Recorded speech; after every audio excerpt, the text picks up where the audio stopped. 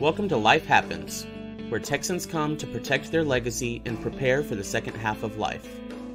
Join your host, attorney Kim Hegwood of Your Legacy Legal Care, and our weekly guest as we navigate the challenges that emerge as life happens. Now, here's your host, Kim Hegwood.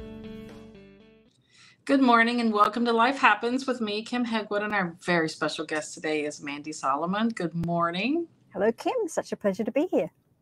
And I, well, I'm super excited. And so, because when I found out your about your information, I was like, "Oh, this is going to be great!" Because we're going to talk today about how can the digital world help someone with dementia. Mm. And so, um, and you are, I guess, I I hate to say the you know use the word because it doesn't sound phenomenal. Okay, because you've done something that for me is just inspirational and beneficial. And so, so I'm going to quit gushing and, um, we're going to talk about the software that you created to help people with dementia and their caregivers. And then when we get to that good part, we're going to talk about why. You know, because there's always a story. You know. So yes. Yes. Let's talk absolutely. about the software. Tell us about it. Okay. So what we've created is uh, a uh, it's essentially an app which you download from the App Store and um, it's available on Google Play and through the um, Apple App Store. So you can play it on any tablet, but it must be a tablet because the essence to this app is that uh, our users, who are people living with dementia, tap on objects inside a world that we've built. We use a game engine for this, and they tap on meaningful objects inside the world that animate the minute you tap on. The moment you tap on them, they come to life. So you tap on a flower and it starts to grow. You tap on the cat and it meows. You tap on the food bowl and the cat walks over to the food bowl and eats the food. And so it's it's a it's a world that we've built using a video game engine that is full of personalized objects and meaningful objects and activities that you might do in your day to day world around those objects. And the whole idea behind it is that we give people the opportunity to interact on a digital platform with virtual activities um, that respond to their own lived experience. And I'll hold it there because I'm sure there'll be more questions. So, uh, why this software? Why, in particular, was this something that inspired you to do? Yes. Um, I took myself back to university uh, and to do a PhD around how to solve the problem of what I thought was a technological laziness for people who need support to amplify their sense of self, which gets diminished by dementia. So, how come we can have all kinds of personalized software to amplify ourselves when we are cognitively well, such as, you know, YouTube, Pinterest, Instagram, Facebook, all the social medias? It's all about here's me and here's the wider me, here's the broader me, the bigger me. Think about what happens when we have a cognitive uh, impairment. Our world starts to shrink we can't get around as much. We don't communicate as well. We uh, uh, get left out of social activities. And so, if anyone on the planet needs help to amplify that sense of self, it's people living with cognitive decline.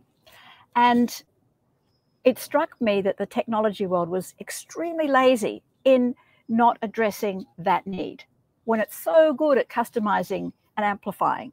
So I set around about doing some research to think, well, what would, firstly, why a digital life? And I think we can talk about that. Secondly, what would in, what would uh, someone living with dementia, what would cause them to um, engage? So, what is the engagement piece? And how? What's the kind of software that allows them in to do that engagement? And I came across this concept of the virtual world. Um, and by that, I, if you think of The Sims or you think of um, World of Warcraft or any of the video games that our friends, relatives, or even ourselves might play, there's a world that's created, there's interaction, there's roles that get played out. And I thought that if you could configure a world that suited people with um, diminished cognition, why wouldn't the same thing work for them? So I madly investigated other other platforms, other worlds. I went into role playing games online and I discovered that no one with cognitive decline was using them. So people with physical inabilities, uh, disabilities, would use them. Um, create incredible heroic avatars for themselves to you know do wonderful um, carry go on missions and carry armor and save damsels and all that kind of thing now that could be someone that's very physically handicapped um, but can express themselves in this environment in a more you know i feel more myself in this world than i do in the actual world someone actually said that to me but then people with cognitive difficulties were not in these worlds so this is where I began to think, well, how can we configure a world that such people can use? And so I developed a prototype, and the rest, as they say, know, here we are today. Yeah. So, you know, when you think about it, you know, um, you know, a lot of people forget how to do a lot of things when it when they yeah. have dementia. Yeah. So, why do you think leading a digital life is important uh, mm. for people who have dementia? Mm. Well, firstly, digital gives us access. So I want to see my photographs. Um, I've got masses of photographs, but they're all online. So I need to be able to access them. I mean, moving forward, if we're talking about uh, people who are 100 years plus, you know, they probably haven't had much of a digital life. But as our generations age, people are just, it's totally instinctive to want to interact, interact with digital artifacts. Um, all the things we've collected in our lives, if you think about them, all the people we're connected to. Uh, you know, so much of our lives is a digital life. And, um, but not only that, if you take away the fact that increasingly generations instinctively know how to use digital tools. If you take that away and say, well, okay, imagine I've never used, never picked up anything that's electronic and digital before. What can a digital world offer me? Well, it can offer a sense of, and I can explain this if it seems a bit, you know, cuckoo, but a sense of agency. So if I find it hard to change a light bulb in my house, but changing my environment is something that is really something I've always, you know, I've always loved doing, and we all do. We all love to manipulate our environment.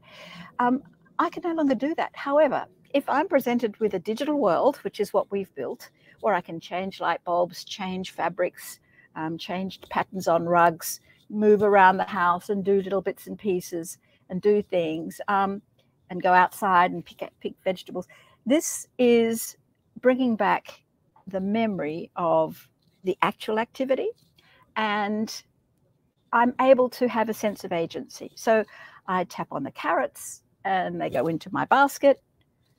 Well, firstly, I've chosen the carrots out of everything else that I can see. I'm going to pick carrots. And tapping is a pre reflective response that we have had since year dot pointing, tapping, touching. This is something that people find they can do. And even if they can't, we have ways around that, hand under hand, to help people tap on the screen. But I've chosen to go to the carrots. So that's a choice. Secondly, I'm choosing to pick the carrots. That's another choice. And thirdly, I'm seeing I'm seeing the outcome of that action, which is the carrots are now in the basket. So we are now finding that uh, you know as a person living with dementia i'm making choices i'm selecting and i'm seeing the outcome of my selections now, if we think about what that means for someone who is constantly facing restriction, um, in, accessibility, and um, quite frankly, often failure. I didn't, I didn't manage to do that. I couldn't do that. Then being able to do them virtually is um, is is a bonus. It's a huge bonus. Now, if I have someone sitting next to me while I'm doing that, and they see what I'm doing, that immediately sets up a connection I'm talking about a care partner um, who's sitting, uh, or you know, care staff who's sitting with me. And, oh, Mandy, what is it about carrots you like? Oh, I love the color.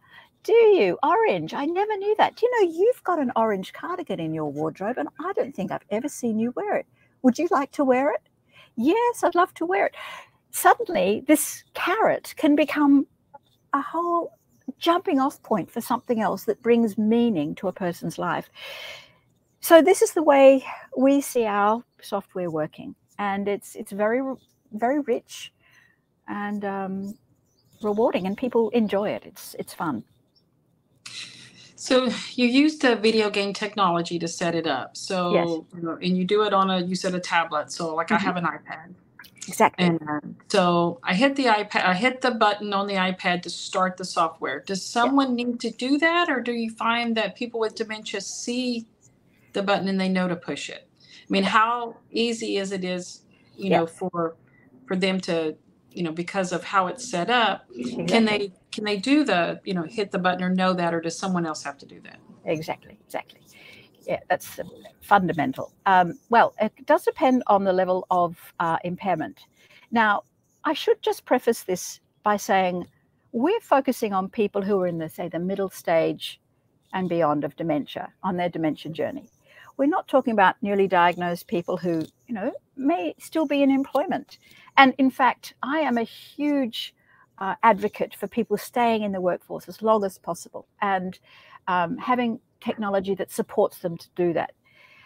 And that you could say is part of having a digital life. You know, how do I use text to speech, uh, speech to text, so I don't have to use that silly keyboard? You know, all the things that we're seeing, and of course, artificial intelligence. That's another piece of the equation. So all these things are helping people who are newly diagnosed and have, say, or have mild cognitive impairment to do what they want to do longer. And that's brilliant. But when you get to a point where language is an issue, um, confusion, um, unsettledness, agitation, it- perhaps you've got the type of dementia that causes um, uh, visual disturbances, you know, we're talking about a different level. And this is where, where, where we operate. So um, we don't expect people to uh, go and initiate a session, as we call it, on their own, because you know that's not really where the person is at.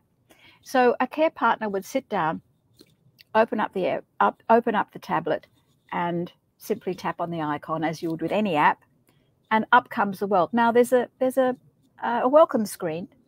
So if you're a care partner, if you're a care staff person working with five or six clients, you would select your person. And the way you can select your person is because there's a dashboard that accompanies this, just a web on the web where you set up your players, add content that's meaningful to them, like photos, videos. That's another story. Let me get back to your actual question. So, when you've selected on your person, up comes uh, the world opens. It's literally like watching a piece of theatre and the curtains open, and they see their photo, and it's the first point of contact. So all they need to do is then, with your suggestion, or maybe they can read because we have verbal, we have text as well. Tap on your photo. So you tap, and then suddenly you're in the world, and it opens in a sitting room. You meet people in the world who talk to you. Oh, hi, how are you today? I'll come and have a look at my world. And so on it goes. Now, we have historically had a care partner sitting next to that person and they work through the program together. But we're also building an AI version which really takes the role of the care partner. So greets the person by name, knows the person, is able to direct the person to different parts of the world that they know they like. For example, they might want to go to the sitting room and listen to music. Well, our persona inside the world will take them there. However, in the current version, the um, care partner is the one that, that works with the person and, and would suggest things, just as our AI person in the world is going to learn how to do it, like best practice care partner. That's what the AI persona will be. Um, now, some people can continue to play on their own once they're in, and other people really enjoy working with a care, what we call a support person or a supporter. And they do it together. And it's very rich for the supporter too, by the way, because you learn a lot about your person. If you know that when they tap on things, it's the ro- it's the path to a meaningful conversation or exchange of some sort. Do you find that you know that that seniors are easily adopt to these new technologies? Well, again, a lovely question. Seniors adopt to them. The hardest thing is for care staff in a residential living to adopt to them. And I'll tease that out for you because it's very interesting. Um, what we are looking at is helping to build person centeredness into the care experience. And every residential care facility says, you know, we're person centered, we value the person. But in reality, staff are short, people are overworked, um, and care staff who are in the personal care area, uh, direct care staff, have a roster. They have to make sure this is done, this is done, this is done, this is done, this is done, and then there's breakfast, and then this done, this is etc. So if you say to such a person, okay, stop, don't rush, take time with your person, have a session like this, and have some fun together, but also bring that person out as you do it, because expressing sense of self, which is what we're focused on, is, to my mind, the single most important thing we can do for our loved ones and our clients. If imagine that we cannot say who we are, what we've done in our lives, what we think about the world, what we're experiencing now. Imagine we can't do that. It, it, it is like being in a, you know, a sheath a, a, that you can't get out of. And so anything, any technology that can help me to get out of myself and share and express, and as I say, amplify, is a critical piece to well-being when you're living with dementia. So people with dementia, it's been designed for them, it's been co-designed with them. They find it a great experience, but the staff, it's a change of workflow. It's a change in in uh, practice and when you think about who is working in personal care, and I've experienced this, we are more and more seeing people with low proficiency English who come from other countries. So they don't necessarily share a cultural uh, landscape of that person that they're working with. I mean, I had someone say, "Oh, she wanted to play Elvis Presley." Uh, she wanted she wanted to watch a video of a of a guy in leather in a in in in a box, and there were a whole lot of them in the box. And I said, "Oh, that sounds like Elvis Presley in uh, Jailhouse Rock." She said, "Oh yeah, I think she said something about Elvis, but I didn't."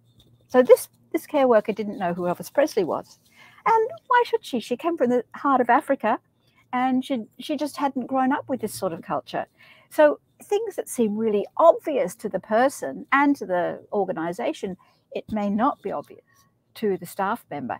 Plus, it's challenging to say, okay, you've always bathed uh, Mrs. Simpson and you've always helped her get dressed, etc. But now you're going to interact with her on a, uh, we can use different language, on a, you know, psychosocial level. And it's like, what, that's not my job, or I, I don't have the confidence to do that, or I don't know how to do that. So these are the practical challenges So, one of the things that I didn't ask you right off the bat is what is the name of the software? What's the program? Yes, thank you. So, the program is called DEVA, D E V A, World. Um, and DEVA, if I can explain, um, it's a bit of a conceit. Um, when I did my research, I had a pro- the, the prototype called AVED, A V E D, assisted virtual engagement tool for dementia, something like that. I can't even remember quite offhand what, what it was. Uh, and so when it came to naming what I was doing in a commercial sense, it's just an inversion of those words. AVED became DEVA. Uh, but at the same time, deva is a Sanskrit um, word, which means God. A god, one of the many gods, comes down and helps you in the real world. So I thought that's really cool because we're using the internet, everything's based in the cloud. and um, and then since then, this whole concept of avatars has become quite a mainstream concept. And um, so again, DEVA fits into the concept of, of, of, of, a virtual persona. And so it's DEVA World. Now, we are moving as we move towards our AI product, which will be um, released next early next year um, we are uh, renaming it Mentia Companion. Mentia is the name of the company, Mentia Companion. And when you enter, when you get involved with our companions, you'll find them in DEVA World. So it's a little bit of a, a brand shift, but I don't want to confuse users with that. At the moment, it's DEVA World. The other thing, Kim, I would say is that because we came across that low proficiency English and this uh, with our care staff, and uh, this is you know all throughout the OECD. It's not just America's issue, um, and increasingly that's where our care staff will come from. We wanted to create, we wanted to take our learnings of where the obstacles and um, roadblocks were for staff, and see how we could use the video game technology for them. So we're now creating a video game for staff which teaches them about how to help people express their sense of self and to understand and decode what they might be trying to express, which comes out as, you know, behavioral responses that are challenging, such as, you know, go away, aggression, agitation, unsettledness, all the things that our our people living with their loved ones would know a lot about. So before I let you go, I have a quick question on when you you said something about that you could upload a photo of the person. And um, so, are you able to upload photos of family members? Yes, being yes, in the yes. digital world. Yes. So when you are on the dashboard, which you the, the, to download the app is free. Anyone can download the app, but in order to make it work, you have to go to our website and subscribe. And at that point, you have access to a dashboard. Now, the dashboard you can upload photographs of anyone, and that appears in the memory book next to the big red chair in the sitting room. And we urge people to upload not just pictures of family, but anything that might be of interest to the person. That they might be mad about war medals or orchids. You know, you can take video clips, uh, clips off the internet. You, oh, sorry, um, graphic stills off the internet or off your own library or wherever you get this. Or you go to the garden and picture that person's favorite rose that just happens to be in bloom. You know, all of these images can be put onto the dashboard and then they'll see them when they tap on the memory book inside this the world and oh and there's the photos we also allow people we can also make books or family members can make specific books so say someone really likes certain psalms in the um, bible or they might like uh, poetry of some sort or a favorite recipe um, you can write those in uh, with text and you know we we give tool tips on how to make it short and sweet. You don't need to write you know screens of information. And then there are books on the bookshelf so you person taps on the book and oh there's their favorite sports players or their so we we provide curated content but you can also customize. The other thing you can customize is um, paintings so you can choose to put a painting on the wall from images that you've collected it could be a granddaughter's drawing it could be uh, the Mona Lisa, which reminds me of the trip we went to when we were in Florence together, etc. Oh, actually, it's in the Louvre. I think the Mona Lisa. um, so you get the picture. Mm-hmm. In fact, people say, you know, having a photograph of uh, Sacramento in the 1960s, a chemist shop in Sacramento in the 1960s, was more powerful than having a photo of my husband because it, it brings out new stories, makes helps someone make new connections. So you can be very broad in what you choose to put on those in those photographs. That's phenomenal. So, Mandy, if somebody wants to get in touch with you, learn more about what you're doing, you know, software, kind of how do they do that? Yeah. So I please reach out to me personally. I would be loving love to communicate directly with any of your your listeners and viewers. Um, and then we I'm so I'm Mandy at mentia.me. That's M-A-N-D-Y at mentia, dementia without the D-E, mentia.me. And our website is https www.mentia.me.